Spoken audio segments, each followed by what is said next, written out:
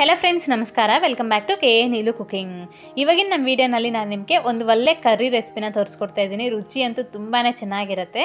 ಹೀರೆಕಾಯಿನಲ್ಲಿ ಒಂದು ಸಲ ಈ ರೀತಿ ಮಾಡಿ ನೋಡಿ ನಿಮ್ಮ ಮನೇಲಿ ಎಲ್ಲರಿಗೂ ಸಹ ಫೇವ್ರೇಟ್ ಕರ್ರಿ ಆಗಿಬಿಡುತ್ತೆ. ಅಷ್ಟು ರುಚಿಯಾಗಿರುತ್ತೆ. ಈ ಕರ್ರಿನ ನಾವು ರೈಸ್ಗೆ ರೋಟಿಗೆ ಪೂರಿಗೆ ಈ ಥರ ಎಲ್ಲದಕ್ಕೂ ತಿನ್ಕೋಬೋದು. ತುಂಬ ಚೆನ್ನಾಗಿರುತ್ತೆ.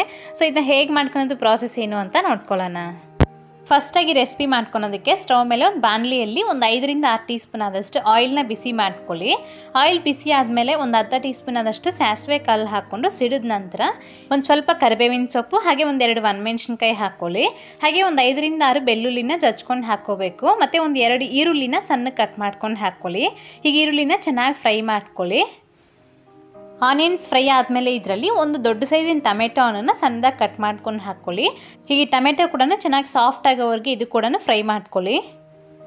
ಟೊಮೆಟೊ ಫುಲ್ ಸಾಫ್ಟಾಗಿ ಬೆಂದಾದಮೇಲೆ ಇದರಲ್ಲಿ ರುಚಿಗೆ ತಗ್ಗಷ್ಟು ಉಪ್ಪು, ಒಂದು ಕಾಲು ಟೀ ಸ್ಪೂನ್ ಆದಷ್ಟು ಅರಿಶಿನ ಪುಡಿ ನಿಮ್ಮ ಖಾರಕ್ಕೆ ತಗ್ಗಾಗೆ ಅಚ್ಕಾರದ ಪುಡಿ, ಮತ್ತು ಒಂದು ಟೀ ಸ್ಪೂನ್ ಆದಷ್ಟು ಧನಿಯಾ ಪೌಡರ್ ಹಾಕ್ಕೊಂಡು ಇನ್ನೊಂದು ನಿಮಿಷವರೆಗೆ ಫ್ರೈ ಮಾಡ್ಕೊಳ್ಳಿ.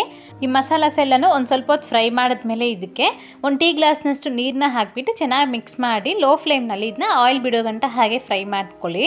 ಈ ಮಸಾಲಾಸ್ ಎಲ್ಲನೂ ಚೆನ್ನಾಗಿ ಫ್ರೈ ಆಗಿಬಿಟ್ಟಿರುತ್ತೆ ರೀತಿ ಆಯಿಲ್ ಬಿಟ್ಟಿದ್ದಾದಮೇಲೆ ಇದಕ್ಕೆ ಒಂದು ಅರ್ಧ ಕೆ ಜಿ ಆದಷ್ಟು ಹೀರೆಕಾಯಿನ ಹೊಟ್ಟೆ ಎಲ್ಲನೂ ತೆಗೆದಾಕ್ಬಿಟ್ಟು ಚೆನ್ನಾಗಿ ಸಣ್ಣದಾಗಿ ಕಟ್ ಮಾಡ್ಕೊಂಡು ಹಾಕೊಳ್ಳಿ. ಹಾಗೆ ಈ ಕರ್ರಿಗೆ ಸ್ವಲ್ಪ ಎಲೆ ಹೀರೆಕಾಯಿನ ಉಪಯೋಗಿಸಿ ತುಂಬ ಚೆನ್ನಾಗಿರುತ್ತೆ ರುಚಿ.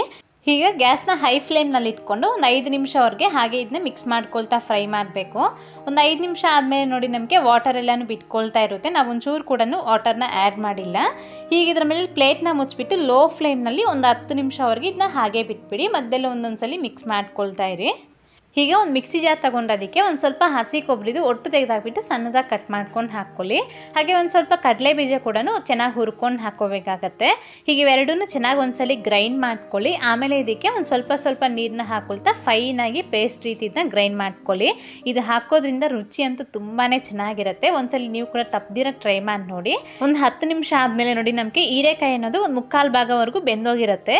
ಈಗ ಚೆನ್ನಾಗಿ ಒಂದ್ಸಲಿ ಮಿಕ್ಸ್ ಮಾಡ್ಕೊಂಡಿದ್ದಕ್ಕೆ ನಾವು ಗ್ರೈಂಡ್ ಮಾಡಿಟ್ಟಿರೋಂಥ ಮಸಾಲ ಪೇಸ್ಟ್ನ ಕೂಡ ಹಾಕ್ಕೊಂಡು ಅದಕ್ಕೇ ಒಂದು ಸ್ವಲ್ಪ ನೀರು ಕೂಡ ಆ್ಯಡ್ ಮಾಡ್ಕೊಂಡು ಚೆನ್ನಾಗಿ ಮಿಕ್ಸ್ ಮಾಡ್ಕೊಳ್ಳಿ. ಚೆನ್ನಾಗಿ ಮಿಕ್ಸ್ ಮಾಡ್ಕೊಂಡಿದ ನಂತರ ಒಂದು ಸ್ವಲ್ಪ ಕುದಿಯೋಕ್ಕೆ ಬಿಟ್ಬಿಡಿ. ಆಮೇಲೆ ಸ್ವಲ್ಪ ರುಚಿನ ನೋಡಿಕೊಂಡು ಉಪ್ಪೇನಾದರೂ ಕಡಿಮೆ ಅಂತ ಅನಿಸಿದ್ರೆ ಈ ಟೈಮಲ್ಲಿ ಆ್ಯಡ್ ಮಾಡಿಕೊಂಡು ಚೆನ್ನಾಗಿ ಮಿಕ್ಸ್ ಮಾಡಿಬಿಟ್ಟು ಅದ್ರ ಮೇಲೆ ಪ್ಲೇಟ್ನ ಮುಚ್ಚಿಬಿಟ್ಟು ಲೋ ಫ್ಲೇಮ್ನಲ್ಲಿ ಒಂದು ಹತ್ತು ನಿಮಿಷವರೆಗೆ ಇದನ್ನ ಹಾಗೆ ಬಿಟ್ಬಿಡಿ. ಹಾಗಾಗ ಒಂದೊಂದ್ಸಲಿ ಮಿಕ್ಸ್ ಮಾಡ್ಕೊಳ್ತಾ ಇರಿ. ಒಂದು ಹತ್ತು ನಿಮಿಷ ಆದಮೇಲೆ ನೋಡಿ ನಮಗೆ ಹೀರೆಕಾಯಿ ಗ್ರೇವಿ ಅನ್ನೋದು ರೆಡಿಯಾಗಿದೆ ಹಾಗೆ ಒಂದು ಸ್ವಲ್ಪ ಕೊತ್ತಂಬರಿ ಸೊಪ್ಪಿದ್ರೆ ಸಣ್ಣದಾಗಿ ಕಟ್ ಮಾಡ್ಕೊಂಡು ಹಾಕ್ಕೊಳ್ಳಿ. ಅಷ್ಟೇ ತುಂಬಾ ಟೇಸ್ಟಿಯಾಗಿರುವಂಥ ಹೀರೆಕಾಯಿ ಗ್ರೇವಿ ರೆಡಿಯಾಗೋಯ್ತು ನಿಮ್ಮ ಗ್ರೇವಿ ಅನ್ನೋದು ತುಂಬ ಗಟ್ಟಿಯಾಗಿದೆ ಅಂತಂದರೆ ಸ್ವಲ್ಪ ಬಿಸಿ ನೀರನ್ನ ಕಾಯಿಸ್ಕೊಂಡು ಹಾಕ್ಕೊಳ್ಳಿ. ತಣ್ಣೀರು ಹಾಕೋದಕ್ಕೆ ಹೋಗಬೇಡಿ. ಈ ಕನ್ಸಿಸ್ಟೆನ್ಸಿಯಲ್ಲಿ ಸ್ಟವ್ನ ಆಫ್ ಮಾಡ್ಕೊಂಬಿಡಿ. ತುಂಬ ರುಚಿಯಾಗಿರುತ್ತೆ. ಹಾಗೆ ನಿಮಗೆ ರೆಸಿಪಿ ಇಷ್ಟ ಆದರೆ ಒಂದು ಲೈಕ್ ಮಾಡಿಬಿಟ್ಟು ಕೆಳಗಡೆ ಕಾಣ್ತಿರುವ ರೆಡ್ ಕಲರ್ ಸಬ್ಸ್ಕ್ರೈಬ್ ಬಟನ್ ಅಂತ ಸಬ್ಸ್ಕ್ರೈಬ್ ಆಗಿ ಹಾಗೆ ನಿಮ್ಮ ಫ್ರೆಂಡ್ಸ್ಗೆ ಫ್ಯಾಮಿಲಿ ಮೆಂಬರ್ಸ್ ಕೂಡ ಶೇರ್ ಮಾಡಿ. Thank you